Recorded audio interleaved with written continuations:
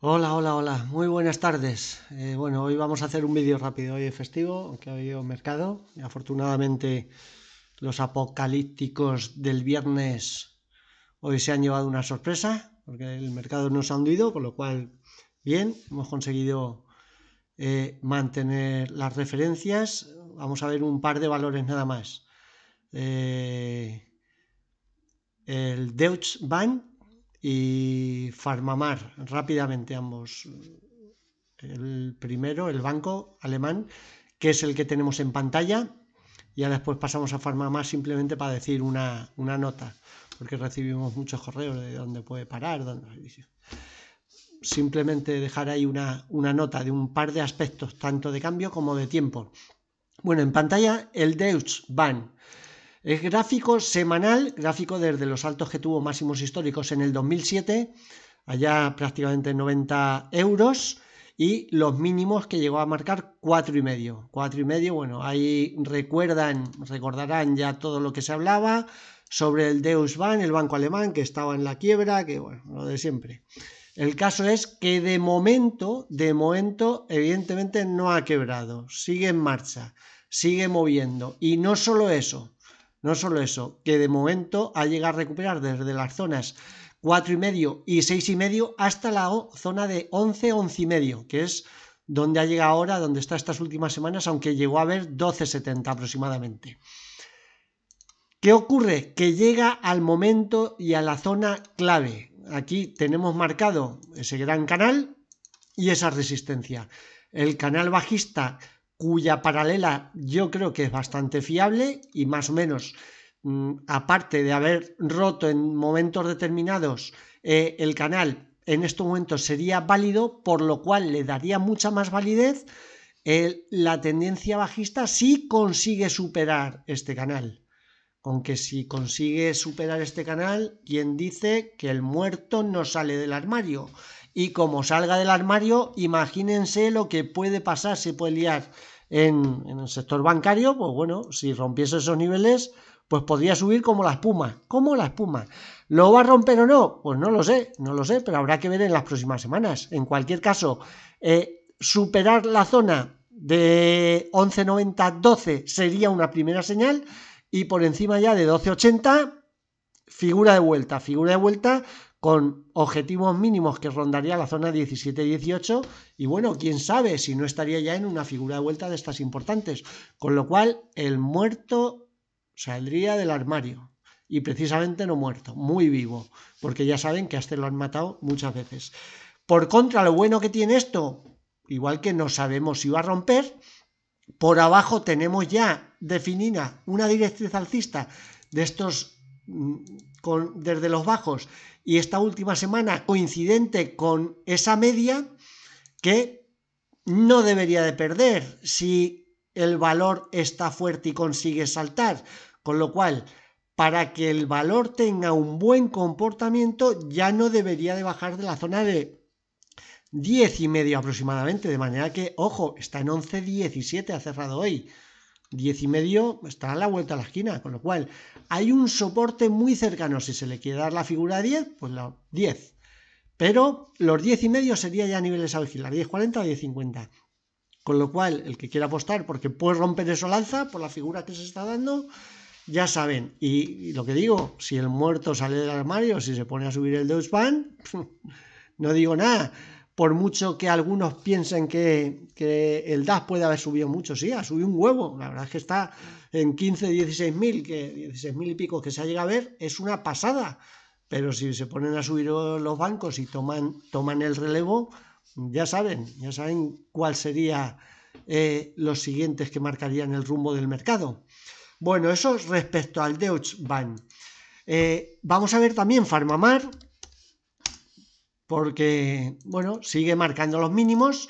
Aquí vamos a limpiar la pantalla un momento y dos, dos aspectos.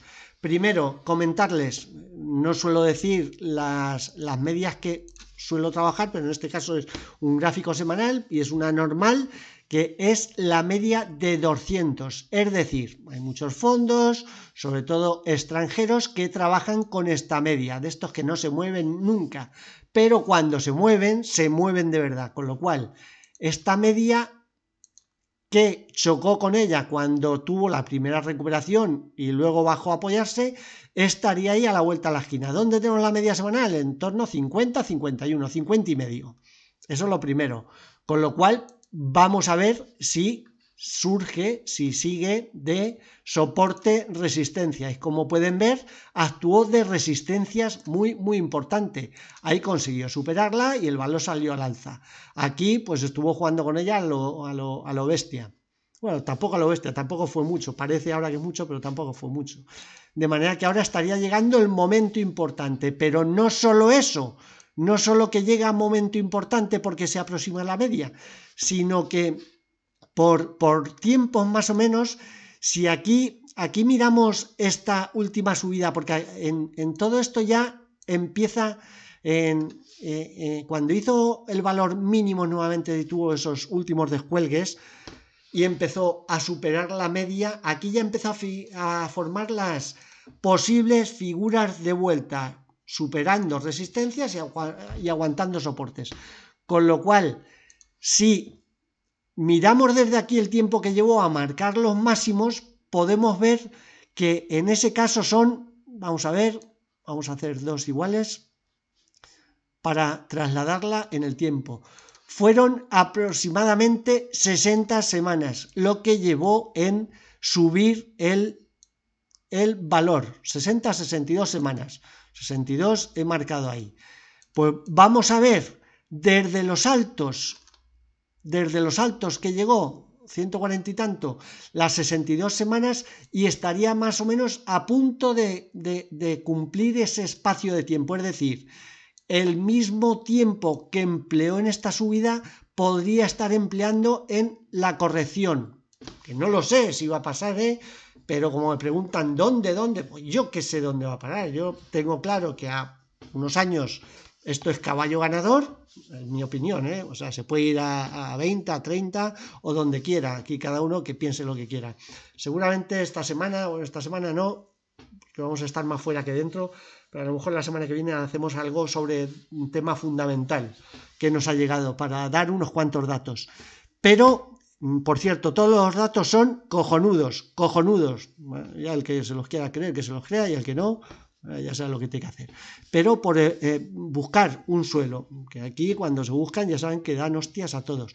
Con lo cual, mm, finales de año, principio de año, estaríamos más o menos en el periodo de igual de tiempo, con lo cual podría estar en la finalización de la caída pero es por intentar buscarle un suelo, ¿eh?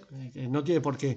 Además, además de eso, pues bueno, si cogemos aquí los mínimos, pues seguimos con ese abanico que ya dije que depende de coger un punto más, un punto menos, pues estamos hablando de un abanico que lleva desde los 63, si no recuerdo mal, hasta ahora y sigue siendo válida esa recta de abanico porque esa recta alcista que marco ahora, que marco ahora, pues estaría cogiendo esas semanas de mínimos, es decir, una, dos, tres, tres semanas en los bajos cuando hizo esos bajos, con lo cual, pues bueno, pues puede ser otra tener en cuenta. Pero bueno, por tiempos, ya digo, voy a marcar esas líneas que se vean bien. Ese, eso fueron 60 semanas de subida.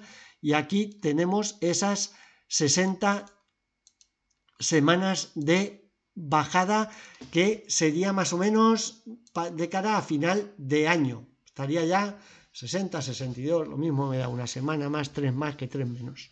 De manera que por esas dos razones no sé si marcará ahí el suelo o no, me gustaría que marcase el suelo ahí, pero bueno, si no lo marca, pues ya saben. Pero bueno, esto eh, lo suelen utilizar sobre todo esos fondos que están Vanguard y compañía, que por cierto, los tres fondos, creo que son tres, eh, tres, cuatro, los cinco, seis más importantes, pero hay tres que concentran la mayor parte y uno de ellos es Vanguard, que tiene 350.000 eh, acciones, si no recuerdo mal tienen 850.000 acciones que tienen las mismas que tenían hace un año, es decir, el resto de fondos pequeños que compran cuando sube y venden cuando baja, todos esos los han fulminado ya, están fuera.